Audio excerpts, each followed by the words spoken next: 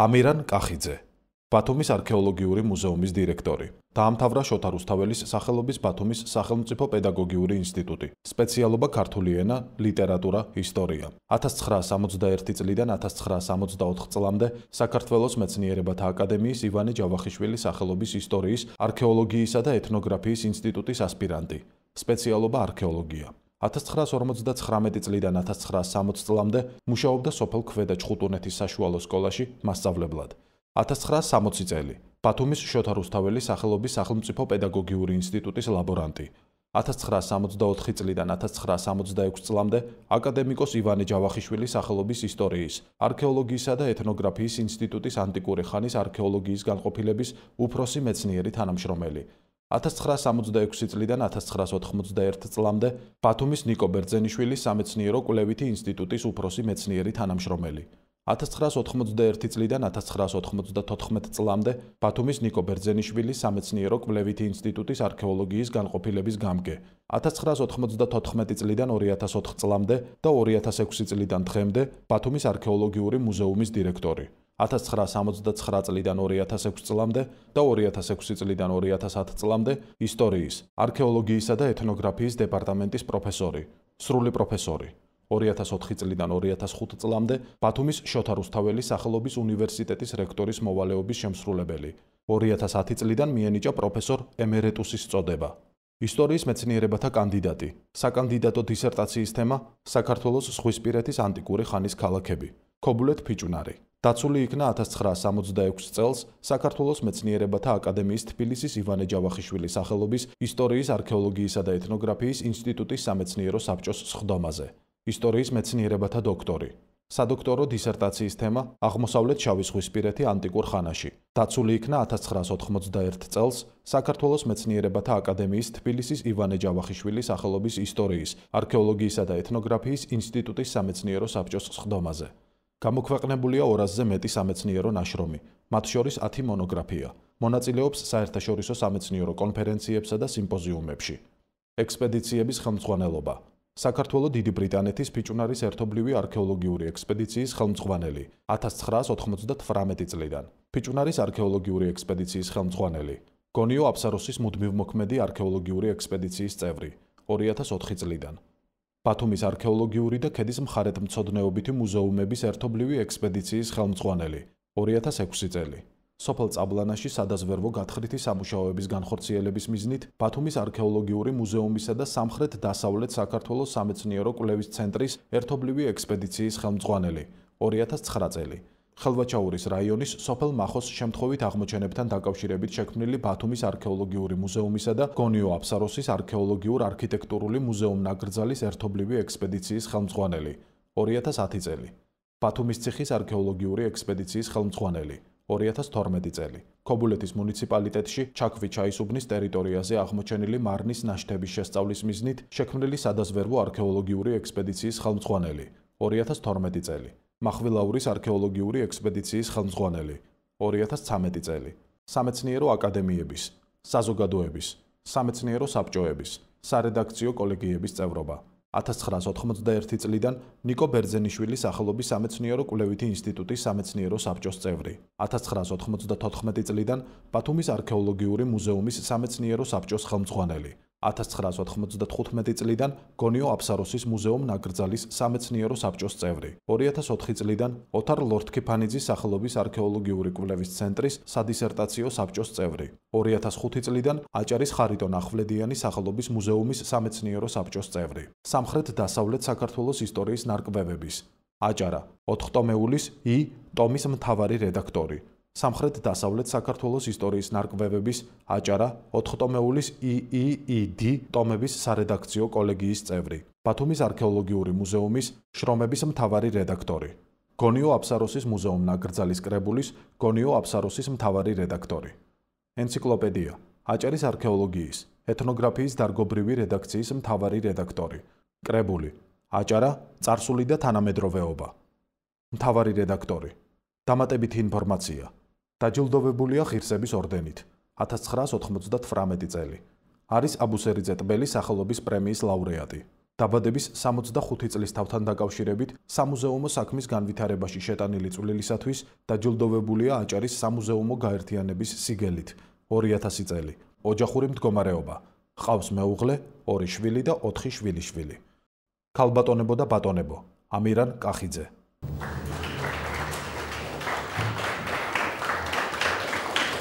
მოგესალმებით.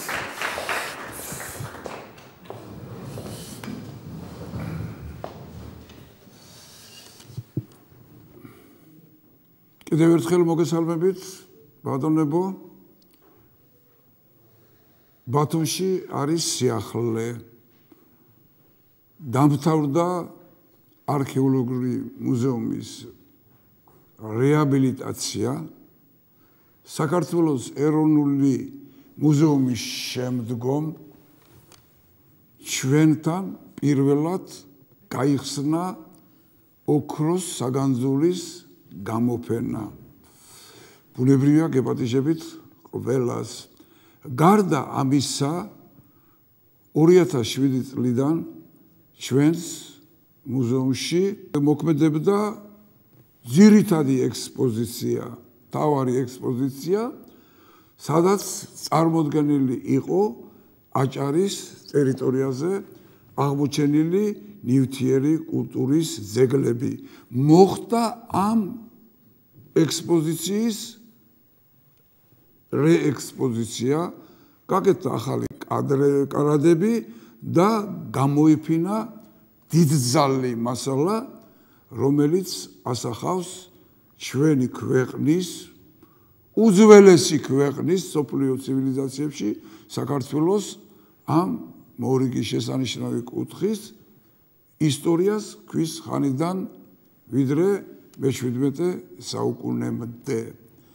სწორედ ჩვენი დღევანდელი შეხვედრა და საუბარი ეძღვნება ერთ-ერთ პრიორიტეტს, გამოფენას, ჩვენ გამოფენას ბევრი პრიორიტეტი გააჩნია და ერთ-ერთი მათგანი გახლავს ჩვენი მხარის სამხრეთ დასავლეთ საქართველოს გურია აჭარის როლი საქართველოს ძველ ისტორიაში. კონკრეტულად სასაუბრო თემას ქვია ჭოროხის აუზი კოლხური კულტურის უძველესი კერა. მაგრამ სანამ ამ უშუალოდ ამ თემის შესახებ დავიწყებდეთ საუბარს, ვფიქრობთ თქვენთვის საინტერესო იქნება მოიწანოთ მოკლე ინფორმაციები, მოკლე ცნობები ზოგადად გლობალურად თუ სად როდის წარმოიშვა ლითონის წარმოების პირველი ნიშნები, ჩანასახები და რა ძირითადი ეტაპები განლო და რა როლი მიუძღოდა ჭოროხის აუზს ამ დიდ პროგრესში, საკაცობრიო ცივილიზაციების პროგრესში. ნუ თავიდანვე თქვენ ისიც ბუნებრივია, რომ საქართველოს მიეკუთვნება იმ ქვეყანათა რიცხვს, სადაც ეგვიპტის შემდეგ, აფრიკის ნახევარკუნძულის შემდეგ დაიწყო ანთროპოგენეზის გაადამიანების პროცესი. კერძოდ პირველი იარაღის მკეთებელი ადამიანის წინაპარი აღმოჩენილი არის სწორედ აფრიკის კონტინენტზე. მე მქონდა საშუალება ბრიტანეთის მუზეუმში, აგერ ქალბატონინელიცაც ლიკების გათხრები გვეხილა აფრიკაში, კენიაში და ტანზანიაში აღმოჩენილი მასალები, რომლებიც სულ რაღაც 2.5 მილიონი წლის წინა ეპოქებით თარიღდება ბატონებო. ეს ის პერიოდი, როდესაც პირველი იარაღი დამზადდა გონებაში და შემდეგ მიეცა პრაქტიკული რეალიზაცია. ამის შემდგომ, აფრიკის შემდგომ საქართველოს არის ის ქვეყანა, სადაც გრძელდებოდა ეს პროცესი ადამიანის წინაპარი ცხოვრობდა და დმანისი იცი თქვენ რომ აქ აღმოჩენილი თავისკალები და სხვა ფლორა და ფაუნა დაახლოებით მილიონ 700 მილიონ 800 წლის წინა პერიოდებით თარიღდება. ჩვენ ბუნებრივია ვამაყობთ ამათ რომ უძველეს კერატა რისხს განვეკუთვნებით აფრიკისა და აზიის კონტინენტზე. ამაზე ძველი ძეგლი ჯერჯერობით არ არის აღმოჩენილი. ეს ისე სხვათა შორის. ეხლა ქვისხანის შესახებ თქვენ მოისმენთ დაწვრილებით საუბარს და მე პირდაპირ დავიწყებ საუბარს ლითონის გაჩენასთან დაკავშირებით. დიდი ხნის განმავლობაში კაცობრიობა იცნობდა მხოლოდ და მხოლოდ ქვის იარას, ზვალს იყენებდა, ხესა და ასე შემდეგ. ჩვენს წელთაღრიცხვამდე, მერვე, მეშვიდე 1000 წლეულამდე ახალგაზრდებო ლითონის ნაკეთობა კაცობრიობისათვის უცნობი იყო. და პირველი კერა ძალიან მოკლედ ვამბობ მე სწორედ გახდათ ანატოლია დღევანდელი თურქეთის ტერიტორია სადაც ჩვენს ერამდე მერვე მეშვიდე 1000 წლეულში წინა კერამიკულ ხანას უწოდებენ ამას იქნა აღმოჩენილი პირველად ლითონის ნაკეთობანი. ნუ ნეოლითი დიდი ეპოქა არის, ძალიან მნიშვნელოვანი არის ამ ხრივად ჩვენი ქვეყანა ძალიან წარმატებული არისა და მოკლედ ეს ისიც გეტყვით რომ დასავლეთ ამიერკავკასია მათ შორის ჩვენი საკვლევი ტერიტორია ჯარაგურია განეკუთვნება იმ კერათ არის სადაც პირველად ადრე განვითარებული ქვეყნების მსგავსად დაიწყო შემგროვებლური მithვისებითი მეურნეობიდან წარმოებულ კულტურულ მეურნეობაზე გადასვლა. სწორედ ანკარაშიც მე მქონდა შესაძლებლობა მენახა მუზეუმი ანატოლიური ცივილიზაციების მუზეუმი და სწორედ აქ პირველად გახედავთ ლითონის ნაკეთობას, მაგრამ ჩვენ ბევრს ვერ ვისაუბრებთ და გესწრებათ ალბათ თქვენ ისწავლეთ, რომ პირველი ლითონის სპილენძი იყო თვითნაბადი. მის მეტალურგიაზე საუბარი გამორიცხული იყო რა თქმა უნდა. და ცივად ჭედვის გზით ღებულობდნენ. იმას ათასროლები დაჭირდა რომ შემდეგ დაეწყოთ ნამდვილი მეტალურგია.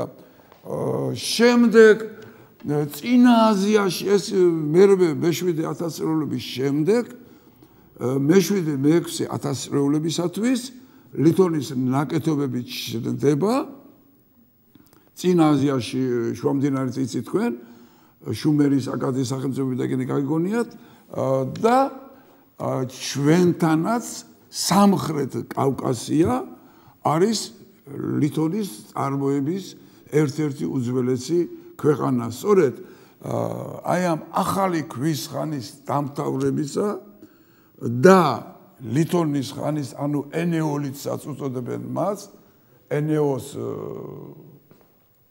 სპილენს ნიშნავს ლითოს ქვისხანას ხალკოლიცაც უწოდებენ აქედან იწყება სწორედ ლითონის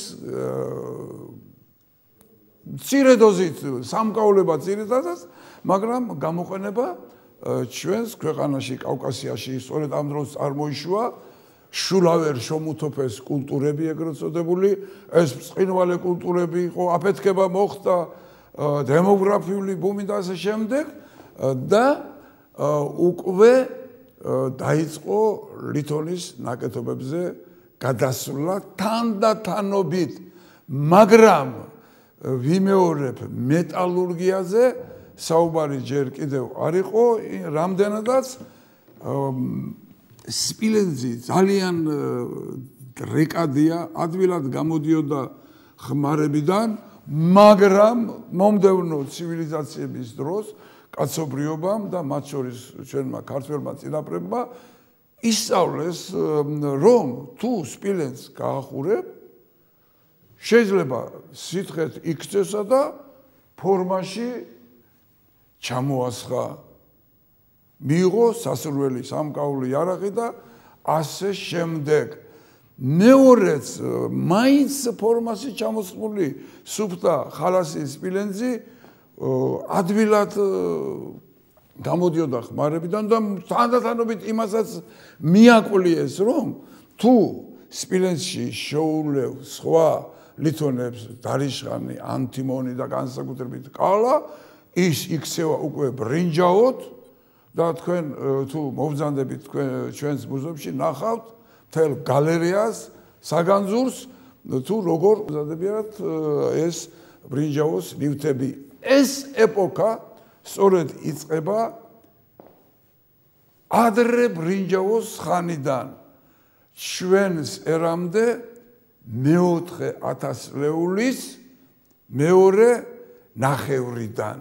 მეოთხე ათასლეულის მეორე ნახევრიდან აა როდესაც და გრძელდება მესამე ათასლეულის პირველ ნახევრისა და გარკვეულ მონაკვეთებში როდესაც საქართველოს ტერიტორიაზე წარმოიშვა ეგრეთ წოდებული მტკვარ-არაქსის კულტურა ხოლო ჩრდილოეთ კავკასიაში კი მაიკოპის შესანიშნავი კულტურა. დიახ, ეს ამ პერიოდისათვის უკვე ისწავლეს ამ შენადნობების დამზადება და მე მე იარაღებსაც გაჩვენებთ გარკვეულად. აა, როდესაც უკვე თანდათანობით ქვის იარაღები, ხის იარაღი და ზვლის იარაღი მართალია აგრძელები ყოფნას, მაგრამ ხმარებიდან გამოდის წამყვან ადგილს ბრინჯაოს ნაკეთობები იკავებენ. მაგრამ კიდევ ზოგადად რომ მოვიდეთ ჩვენ საკვლევ თემატიკასთან, გეტყვით რომ განსაკუთრებით სამთამადნო მეტალურგიამ, ინდუსტრიამ მაღალ საფეხურს მიაღწია.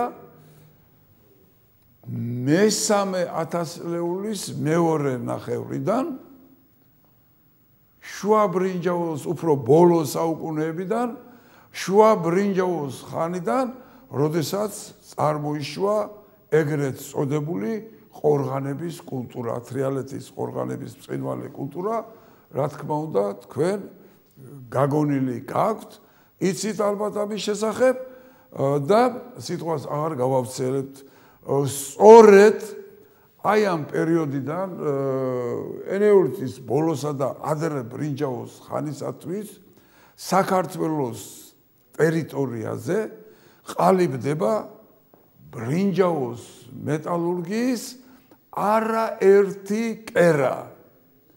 Ну ასეთი კერა რა თქმა უნდა ჩვენ კერების არსებობაზე ვსაუბრობთ ნივთიერი ძეგლების მიხედვით, ნივთიერი ძეგლების მონაცემების მიხედვით, როდესაც აღმოჩენილია ჯერ ერთი საბადოები, პოლიმეტალების გამოსავლები, აღმოჩენილი არის გამოქვაბულები, საიდანაც გამოქონდათ აი ეს ნედლეული მასალა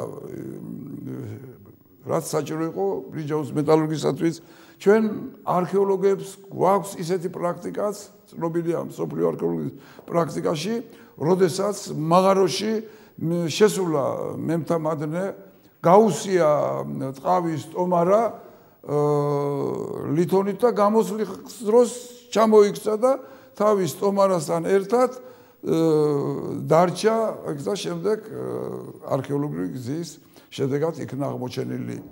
დიახ, აი ასეთი კერები გახლავთ აფხაზეთში თიან ნაწილში უფრო მეტად შესანიშნავი კერები და ჩვენ ამ კოლხეთის ტერიტორიას დაბლობს ეს ერთიანი არის რა თქმა უნდა აი ამ პერიოდიდან დაწყებული შემდეგ კოდორის სათავეებში და სვანეთში ჩვენი კოლეგა შოთა ჩარცოლანი მუშაობდა ამასთან დაკავშირებით აღმოჩენილია წინვალე კერები შემდეგ რაჭა ლეჩხუმი გარკვეულად გურიის მთიანეთი და ეხლა უკვე უახლოვდებით ჩვენ ძირითად თემას, რომელსაც ქვია ჭოროხის აუზი კოლხური კულტურის უძველესი კერა. დავსვამ ჩვენ საგის რა როლი ითამაშა აი ამ ტერიტორიამ ჭოროხის აუზმა საკაცობრიო ცივილიზაციაში. ჭოროხის აუზი ზოგადად რომ თქვათ, ძალიან მნიშვნელოვანი არის იმ თვალსაზრისით, რომ ზღვის სანაპირო ზოლით ჭოროხის შესართავით დაკავშირებული იყო უძველეს ეგეოსურ ცივილიზაციებთან, კრეტა მიკენის კულტურებთან, ხოლო მისი ხეობით სათავეებით, ჭოროხის სათავეებით, სადაც თქვენ ალბათ იქნებით ნავყოფი ტაოგლარჯესი და ისა უძველესი ისა ანატოლიურ კულტურებთან, ცივილიზაციებთან, ну ეს წინა აზიის კულტურებთან, ობეიდის და სხვა კულტურებთან და აი ამ ხარის აღმავლობა, ესე იგი ჭოროხის მეტალურგიული კერების აღმავლობა იწყება სწორედ ჩვენს ერამდე მეოთხე 1000 ლეულიდან. მესინერბაში გამოთქმული არის მოსაზრება რომ ჭოროხის აუზის საბადოები მურღული, წანსული და სხვა აწვდიდა სპილენს მადანს წინა აზიის კულტურებს, იქიდან მოქონდათ კალა და სხვა, ხოლო ეს იმპულსები სამხრეთი კულტურებისა იმდენად მძლავრი აღმოჩნდა, რომ როგორც კვარარაქსის კულტურა, ასევე თრიალეთის კულტურა ამ ეპოქისათვის მესამე მეორე ათასწლეულებისათვის განვითარების ძალიან მაღალ საფეხურზე ავიდა. მეცნიერებაში გამოთქმული არის მოსაზრება, რომ მესამე ათასწლეულის ბოლოსა და მეორე ათასწლეულის დამდეგისათვის თრიალეთის კულტურა მიუახლოვდა წინა აზიურ ცივილიზაციებს სახელმწიფოებრიობის ზღვარს, მაგრამ სხვადასხვა მიზეზის გამო რა თქმა უნდა ეს ზღვარი ვერ იქნა გადალახული. სხვა მხრივ თითქმის ქალაქებიც კი წარმოიშვა урბანისტური ცივილიზაცია ჩვენ კიდევ ერთი შეხვედრა გვექნება урბანისტური ცივილიზაციასთან დაკავშირებით, ფიჭვნართან დაკავშირებით და ესე იგი საზოგადოების ძალიან მაღალ ფენებთან გვაქვს საქმე. დაუბრუნდეთ ახლა შორს რო არ წავიდეთ ჩვენ საკლებო თემას მე გითხარით, ხედავ თქვენ პირველ გამოსახულებას, სადაც მოცემული არის მეოთხე ათასლეულის მასალები, რომლებიც აღმოჩენილი არის კობულეთის ახლოს ისპანიის ტორფეშა ნამოსახლარის ქვემოთ. აქ მოსემული არის ისრის პირები, კაჯის ისრის პირები, საბერველი მილი, შემდეგ სამეული რომ არის, რომელიც აუცილებელი იყო ბრინჯაოს მეტალურგისათვის. შემდეგ ხის ყალიბი ჩვენთან თუ მომზადებით მუზეუმში გამოფენილი გვაქვს. ხის ყალიბი, რომლისგანაც ყვა მილიანი ცული მზადდებოდა ასეთი ცულების არის აღმოჩენილი. ასეთი ცულის ხის ყალიბები აღმოჩენილი არის შუმერში, აკადში, მეოთხე ათასწლეულში ჩვენთან ხულოსში აღმოჩნდა ნაუმარში მესამე ათასწლეულისა და აქედან ახლა წვლილი ამ წვლილისა ესე ჩანს რომ ჭოროხის აუზ ძალიან ჭიდრო კონტაქტები ჰქონდა ამ ცივილიზაციებთან. შემოდიოდა ზოგიერთი ფორმა, აქედან ცელდებოდა თელს ამიერ კავკასიაში, მარტო აი ამ სულის მიხედვით რომ ვთქვათ, თელს ამიერ კავკასიაში, გადავიდა ჩრდილოეთ კავკასიაში, ჩრდილოეთ კავკასიიდან დუნაის პირეთამდე აღწევდა ამ ტიპის იარაღები, რა თქმა უნდა, ადგილობრივი ვარიანტების სახით. აქ კიდევ მოცემული არის ისპანი რო გითხარით პირველი ქვის სული არის კაპრიალებული ესეც ჩვენს გამოფენაში არის მოცემული და ხის ყალიბის ფოტო გამოფენილი და აჭარის სახელმწიფო მუზეუმში დაცულია ნაუმარის ის სული ყვადაქანებული ცული, რომელიც ჩვენს ერამდე მესამე ათასწლეულის მეორე ნახევარში არის დამზადებული და ასეთი ფართო გავრცელება პოვა თელს ამიერკავკასიაში და ჩრდილო და დასავლეთ შავ ზღვისპირეთში.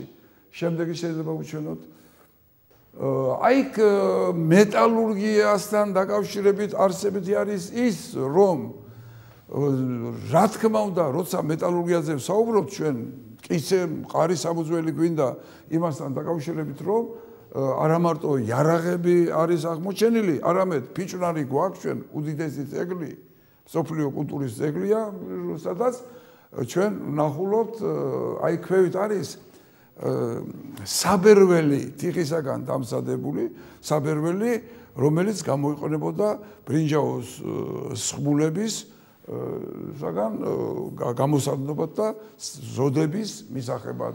შემდეგი უჩვენება. ეს ყველა ფიჭვნარში არის ახალგაზრდებო აღმოჩენილი ყალიბები. ხედავთ ეს ყალიბები რომელიც მიუთითებს რომ მართლაც სამხრეთ დასავლეთ საქართველოში აღმოჩენილი ზემოთ და ქვემოთაც ნახავს გავსი იარაღები მზადდებოდა ადგილზევე. სულების ყალიბები ამ კოლხურსულებს შემდეგ გაჩვენებთ. სამკაულების ყალიბები შემდეგ მძივების ყალიბებიც კი გვაქვს. ნანახი აგერ ისრისპირის ყალიბი და აგერ ისრისპირები არის მოცემული. და აქ პატარა თიხისაგან დამზადებული კოვზია, რომლისგანაც აი ესეთ ყალიბში შეიძლება და თხევადი ლითონის გადასხმა სასურველი ჭურჭლის მიღების მიზნით. ახლა შემდგომი ეტაპი ჩვენი ქართული ცივილიზაციებისა, ქართული კულტურებისა გახლავთ თრიალეთის კულტურის შემდეგ რა თქმა უნდა გვიან ბრინჯაო ადრე რკინის ხანა. ჩვენს ერამდე მეორე 1000 ლეულის შუახანები და პირველი 1000 ლეულის პირველი საუკუნეები. ეს ის ეპოქა არის როდესაც საქართველოს ტერიტორიაზე წარმოიშვა ფუნქციონირება იწყო ორმა დიდმა კულტურამ ერთი ცენტრალურ ამიერკავკასიური კულტურა იორ ალაზნის აუზისა, სამთავროსა, შიდა ქართლისა და მეორე დასავლურ ქართულმა კოლხურმა ტომობრივმა კულტურამ. ტომო მიაქციეთ კოლხი ტომების სათავე აა ეხლა ცოტა ისა ექსკურსიის გაკეთება შეიძლება იმხრივ რომ საქართველოში ენეოლითის ეპოქისათვის იყო ერთიანი ქართული, პროტოკართული ეთნოსი, მთლიანად როგორც დასავლეთ, ისე აღმოსავლეთ საქართველოში. შემდგომ თანდათანობით ხდება დიფერენციაცია, ძირი, ფესვი, ყველაფერი ლექსიკა ერთია, მაგრამ ამ ერთობისაგან გამოყოფა სხვადასხვა ერთეულისა. პირველი ერთეული, რომელიც ამ ერთობას გამოიყო, სვანეთი. სვანური ენა თქვენთვის ცნობილია. ესე იგი არის უძველესი პლასტი პროტოკართული ერთობისა და არქეოლოგიური მონაცემებით ფიქრობთ, რომ ეს გამოყოფა მოხდა ჩვენ სერამდე მესამე 1000 ლეულში. თითქმის ერთი 4500 5000 წლის წინათ. მეორე დიფერენციაცია პროტოკართული ერთობიდან გამოყოფისა ეს იყო მეგრულ რაზური ელემენტის გამოყოფა დასავლურ ქართული ელემენტის გამოყოფა. ესე იგი მეგრულ ლაზური ერთეული აერთიანებდა აფხაზეთს, სამეგრელოს,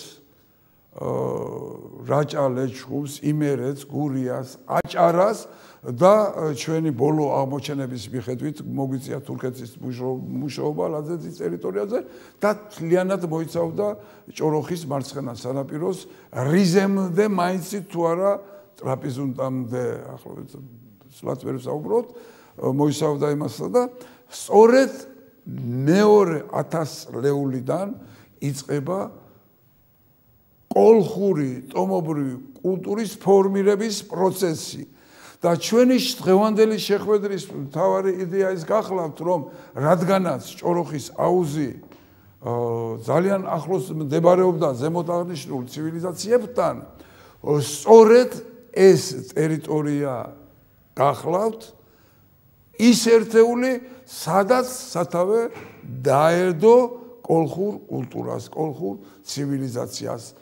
უძველესი ესე იგი პლასტი ამ კულტურისა სწორედ აჭარა გურიის ტერიტორიაზე არის აღმოჩენილი ჩვენ ამ ხრივ ძალიან ბევრი დიდარი მასალა გვაქვს ნაშრომებიც გვაქვს გამოქვეყნებული რა თქმა უნდა და ჩანს რომ აი ეს ჭოროხის აუზი ხედველობაში მაქვს თავისი მიმდებარე ტერიტორიებით ამ პერიოდისათვისაც აგრძელებდა კონტაქტებს სამხრეთულ ცივილიზაციებთან, სამხრეთის ქვეყნების კულტურებთან, ცივილიზაციებთან. ეხლა რა ახასიათებს კოლხურ კულტურას? და ჭოროხის აუზ ამ შემთხვევაში დიდარი არის პოლიმეტალებით, სპილენზი, ოქრო და სხვა სახით. გაგიგონიათ ალბათ მერიში დამუშავება ხდებოდა ვაიოში, უჩამბაში და თურქეთის ტერიტორიაზეც განსაკუთრებით მაშინ კოლხურ კულტურაში შედიოდა, რა თქმა უნდა, ესე იგი მურღული, ჯანსუღი და სხვა ძალიან დიდარი იყო ის იმდენად დიდარი რომ ფიქრობენ მეცნიერები რომ წინა აზიასაც აწვდიდა სპილენძის ნედლეულს აი ეს საბადოები. აგერ აქ მოტანილი გვაქვს ჩვენ აა ქვის უროები. მუზეუმში გვაქვს გამოტანილი, მოტანილი ისა, რომლითაც საბადოებში ხდებოდა სპილენძის მადნის მოპოვება. და აგერ ხედავთ ქვის გობებს, ზოგი მოზრდილი, ზოგია ესა ის ნედლეული საბადო, როდესაც გამოქონდათ, აი ამ სანაყებით, მსგავსი სანაყებით ამ გობებში ანაწევრებდნენ რომ შემდეგ ქურაში ადვილად გამოდნობილიყო ტემპერატური მაღალი ტემპერატურის მიღება ძნელი იყო და ერთ მაგალითს გეტყვით რომ წელს 10 დღიანი ექსპედიცია ქონდა ჩვენ სოფელ მარადეთში გესის მშენებლობასთან და 7 ქვის გობი იქნა აღმოჩენილი მარტო ერთ კასპლაზე, ერთ სეზონზე. ეს უკვე ახალგაზრდებო არის ბრინჯაოს ინდუსტრია, გაჩვენებთ მე მას. ერთ-ერთი მათგანი აგერ არის მოცემული. აქ კიდევ ფიჭრაში აღმოჩენილი ვერსია და ჩვენ ფიქრობთ, ჩვენი კონცეფცია არის ასეთი, რომ სწორედ ჭოროხის აუზი არის ის ადგილი, თქვენ მას აიკითხავთ ისა, სადაც ამიერ კავკასიაში პირველად დაირწა ადრე სახელმწიფოებრიობის აკვანი დიაოხი კოლხა. კოლხა აგერ გონიოდან იწყებოდა და ტრაპიზონამდე ცელდებოდა. კი ქონდა განძები ბევრი გვაქვს აღმოჩენილი მაგრამ წრევანდელმა აღმოჩენებმა გვიბიძგა რომ მართლაც ფუნდამენტური კვლევა საჭირო კოლხური კულტურის ამ უძველესი და უმსხვილესი კერის შესწავლისათვის, იმიტომ რომ ეს მარტო აი ამ ჭოროხის აუზით არ მოიწურება. აა ორდუშიც კი აღმოჩენილი არის კოლხური კულტურისათვის დამახასიათებელი ნივთები, რა ნივთები იყო მას გადაგდა გეტყვით მე აა კოლხური კულტურისათვის დამახასიათებელი ნივთები ორდუში რომელიც სტოკჰოლმის მუზეუმში არის დაცული, მქონდა მე საშუალება მენახა ეგენი. შემდეგ არტვიში არის აღმოჩენილი და მეხჩის ციხეში ზევით ისა არდაგანთან და ყარსთან ახლოს. ყარსის მუზეუმში რო შევედით, მეგონა თბილისის ქართულ მუზეუმებში იმდენი კოლხური მასალა არის აღმოჩენილი. ბევრი გასაიდუმლოებული, ანუ ეს რომელი არის. შემდეგ აი ეს מחვილავში აღმოაჩინეთ მოზდილი სანახია, ესა ქვის გობი, ესეც კიდევ ადრე ქონდა ჩაქვის ჩაისუბანში აღმოჩენილი, შემდეგ და ეს უახლესი აღმოჩენებია, ხედავთ რა შესანიშნავად დამუშავებული და თავარი რა არის?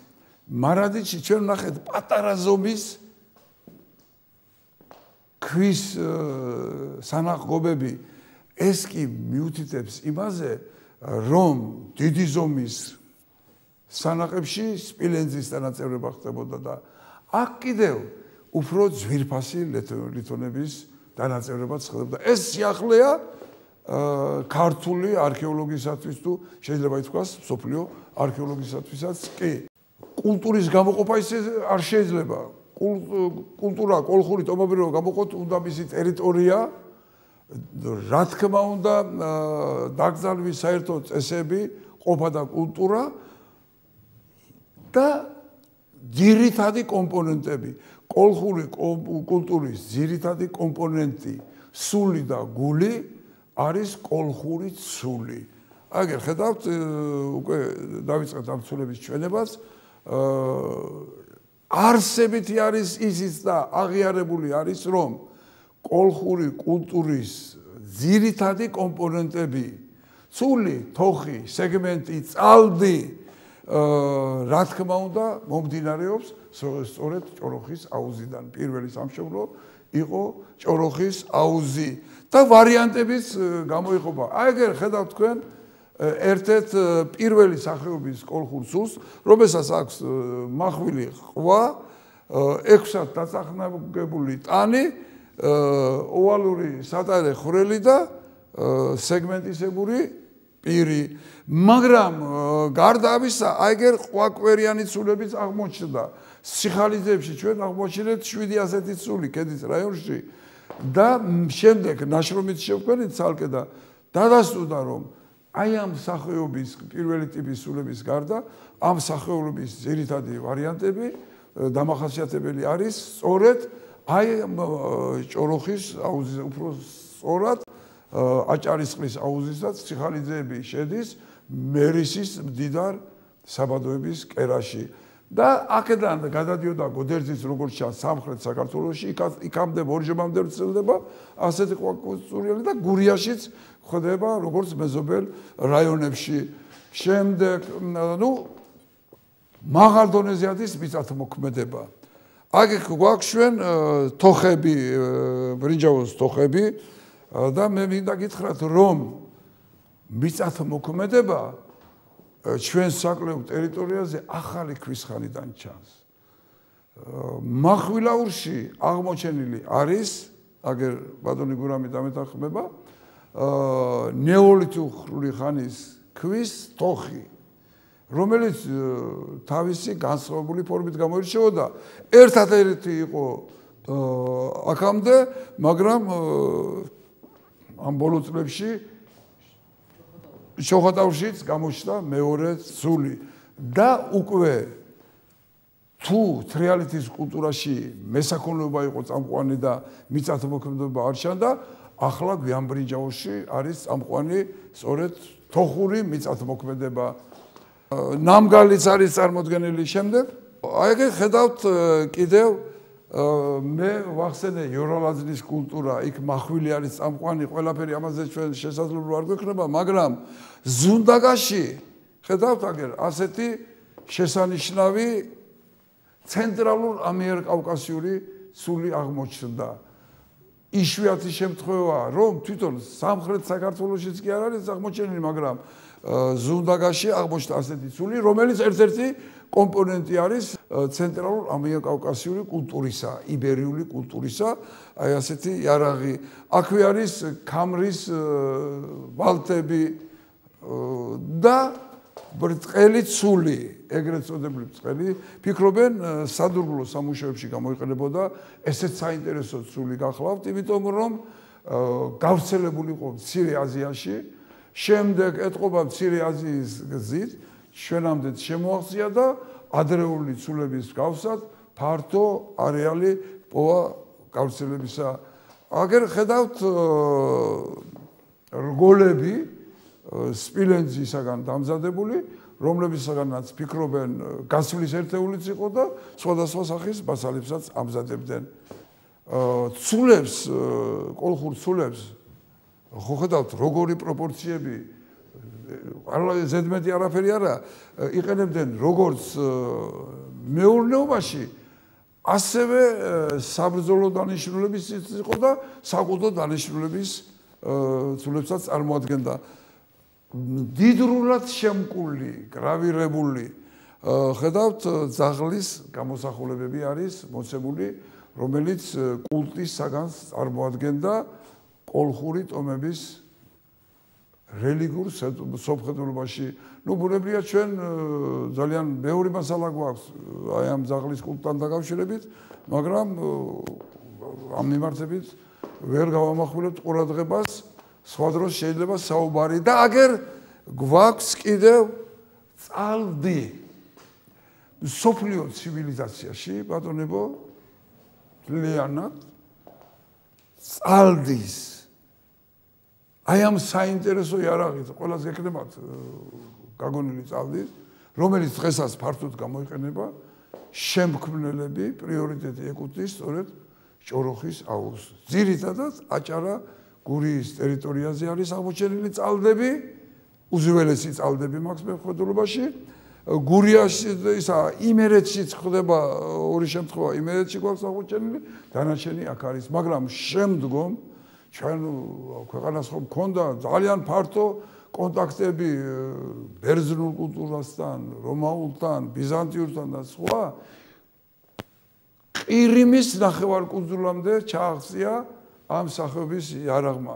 მე ყირიმში მქონდა საშუალება დამეთვალიერებინა სიმფეროპოლის მუზეუმში ერთ-ერთი წალდი და იქ ჩვენმა კოლეგებმა გითხრეს ანუ რომაულიაო, ანუ ადგილობრივი და ჩვენ მე მოგვიწია ნაშრომის დაწერა და სადაც ნაჩვენები იყო და მოსკოვში გამოხდა ნაშრომი და სადაც დამტკიცებული რომ არა ბატონო არც რომაული, არც ყირიმული და ხირიმული ეს არის კოლხების წინვალე შემოქმედება, რომლის ფუნქციების ჩამოწვლა აქაურ პირობებთან დაკავშირებით რა თქმა უნდა ძნელია. იმ ხრივ რომ წალს ევრი სახის სამუშაოების შესრულება შეეძლო.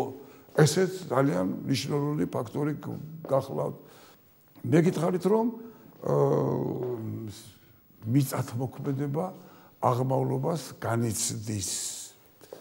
ჩვენ აქ მუზეუმში გამოფენილი გვაქვს საინტერესო მასალები. ხის კავი. საფრენად რო არის გამოყენებული. კლიანადაა გადარჩენილი ფიჯვნარში აღმოჩენილი, რომელიც 3100-3200 წლის წინათ იყო დამზადებული. სილა გრუნჩი შეიძლება და ხობის მოყვანა თუ ზასო და ფართოდ ყოფილა გამოყენებული.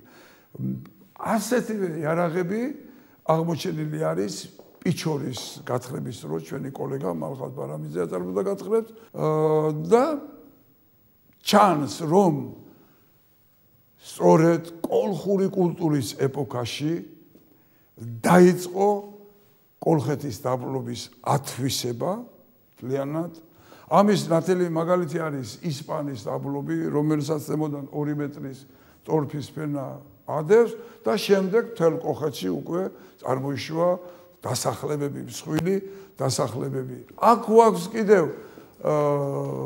ერთი მეტად საინტერესო ნივთი ზვლის დელფინის ზვლის სალამური. ორადორია საქართველოსში მთლიანად აღმოჩენილი. ერთი სამთავროში, სამახში აღმოჩენილი, მეორე ჩვენთან არის ზვლის სალამური. ესეც გარკვეულად მესაკოლეობის დაწინაურებაზე და არსებობაზე უნდა მიუთითოს, მიუთითებდეს. მაგრამ აქ პატარად არის ნაჩვენები აჭარის ეთნოგრაფიული ყოფისათვის მეტად დამახასიათებელი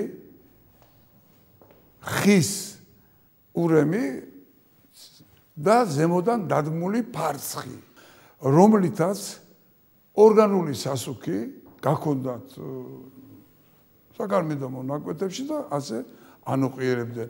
ფიჭვნარის გათხრების დროს ჩვენ ვნახეთ მოდელი ასეთი ფარცხისა. ისა ფარცხისა და თვითონ ხიზაკისა.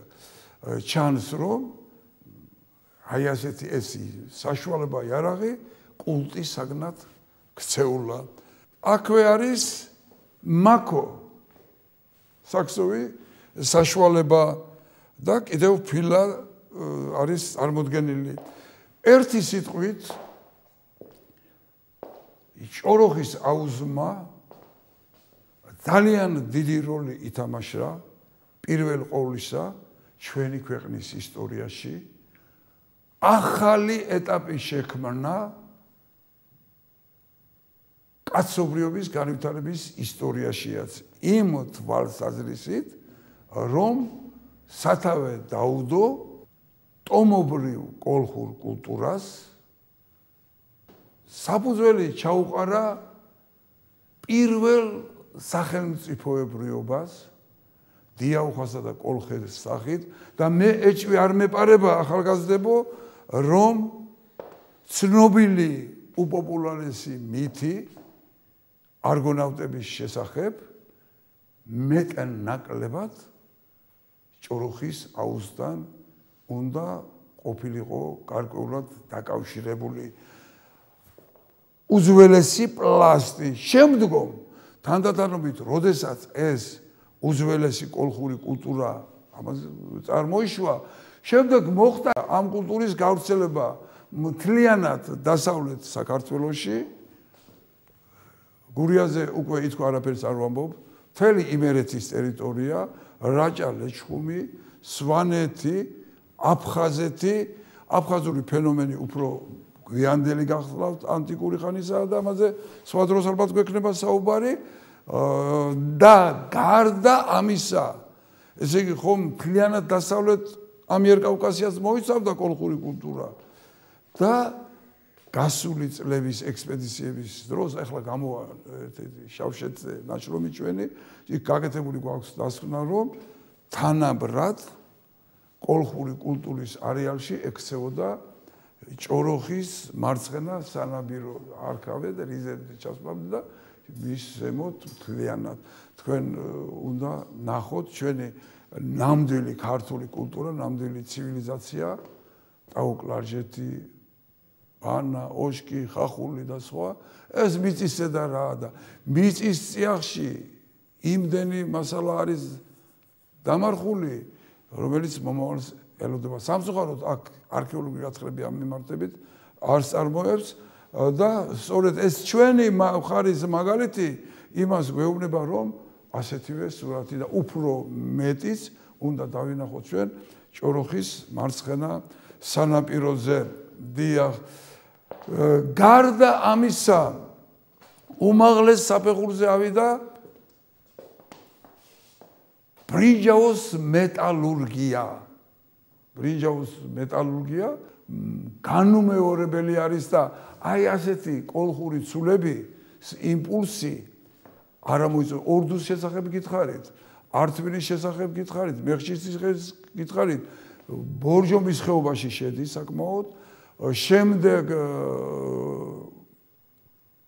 სამაჩაბლოს ტერიტორიაზე წლის სამარში ხშირად ხდება ამით არ თავდება გადადის შრილო კავკასიაში ეხლა სამწუხაროდ სრულმეცნიერების პოზიციებიდან ისმის ხმები რომ ცდილობენ რომ თითქოს პირიქით მოხდა შილოტკა ყობანური კულტურიდან გავცედა კოლხური კულტურა მაგრამ ჩვენი მონაცემები ადასტურებს რომ ყობანური კულტურა არსად არ არსებობდა როდესაც ჭოროხის აუზში მიაქციეთ ყურადღება ჩამოყალიბდა ტომობრივი კულტურა. აქ იყო ყველა კომპონენტის არა მარტო ადრეული ნიმუშები, ოადრესი ნიმუშები, უძველესი ნიმუშები მე-14 საუკუნიდან დაწყებული, ჩვენს ერამდე მე-14 საუკუნიდან დაწყებული, არამედ მათი წინამორბედები პროტოტიპებს რო უწოდებენ და გარდამავალი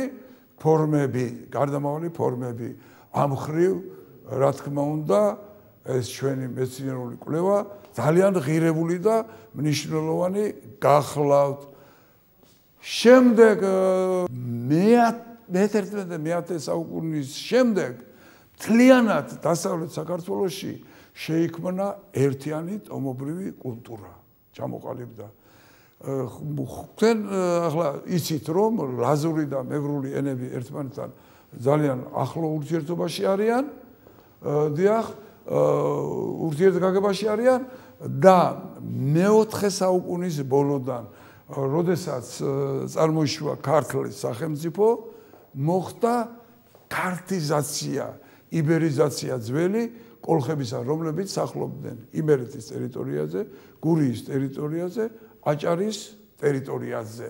ხოლო ცენტრალურ ამიერკავკასიური კულტურა, დიდებული კულტურა, მაგაზე ჩვენ დღეს ვერ ვისაუბრებთ, რაც სხვა თუ შეიძლება რა თქმა უნდა განაგზობდა არსებობასა და ისეთივე როლს თამაშობდა და ისეთივე მეტალურგიის კერები იყო.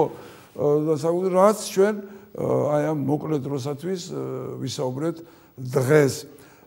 ესეც ძალიან მნიშვნელოვანი ფაქტორია და ერთიანი ტომობრივი სულიერი კულტურა ჩამოყალიბდა რელიგიური პანთეონები და ასე შემდეგ.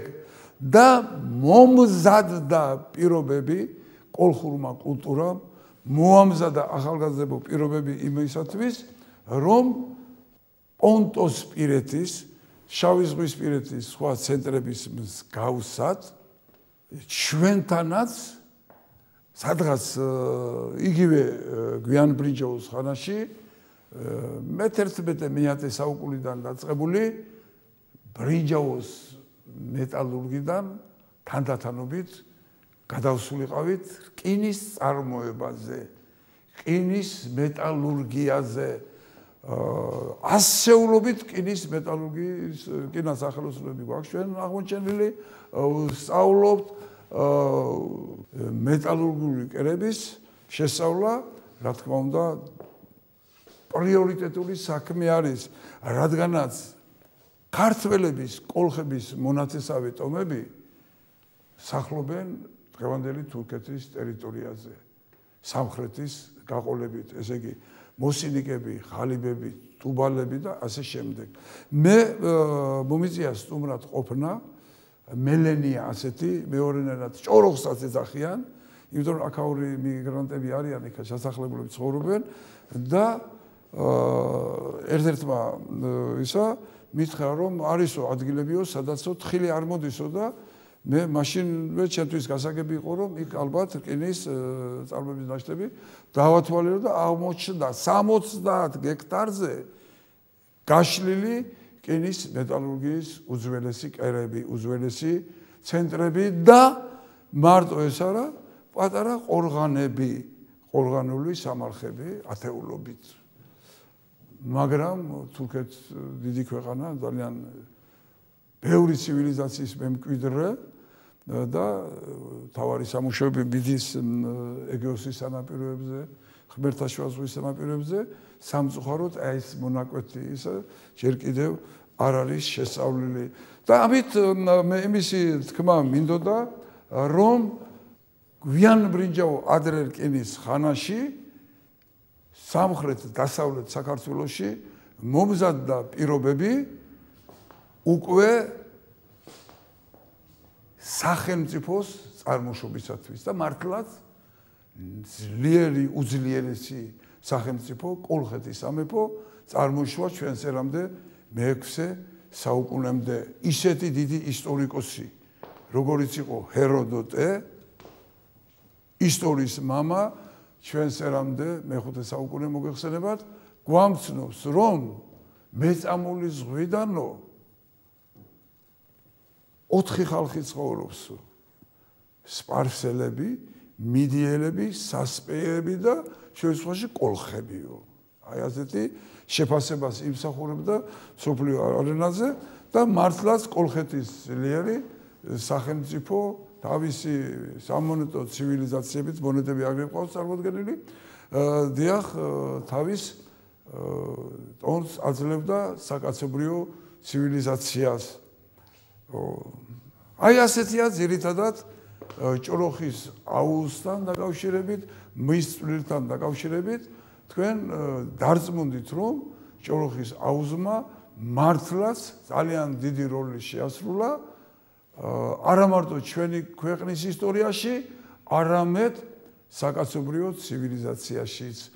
ის კულტურები, რაც ჩვენ დავიწყე შულაურ შემოთობიდან დაწყებული მტკვარ-არაქსი, ყორღანების წყინვალე კულტურა, თრიალეთის კულტურა, ცენტრალურ ამიერკავკასიური კულტურა, იორალაზნისა და სამთავროს კულტურები და სხვა თავისი იმპულსებით დაკავშირებული იყვნენ ადრე დაწინაურებულ სამხრეთის ცივილიზაციებთან.